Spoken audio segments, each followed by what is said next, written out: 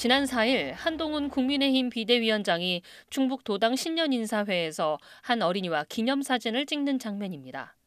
한 위원장이 아동학대 현장을 즐겼다는 제목으로 온라인에 퍼진 영상에는 누군가 아이에게 손팻말을 밀어 넣었다는 내용이 담겨 있습니다.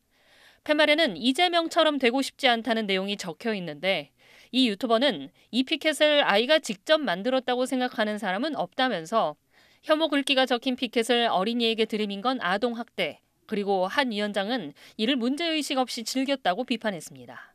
그런데 전체 영상을 보니 한 위원장이 문구를 확인하고는 오히려 손팻말을 빼내 뒤에 앉은 사람에게 건네는 장면이 나옵니다. 영상의 맥락을 잘라내고 상황을 왜곡한 겁니다. 국민의힘은 해당 영상이 조작된 가짜 뉴스라며 유튜버는 물론 온라인 커뮤니티 유포자에 대해 법적 대응에 나선다고 밝혔습니다.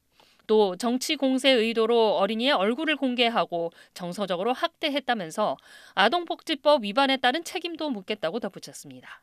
SBS 정경윤입니다.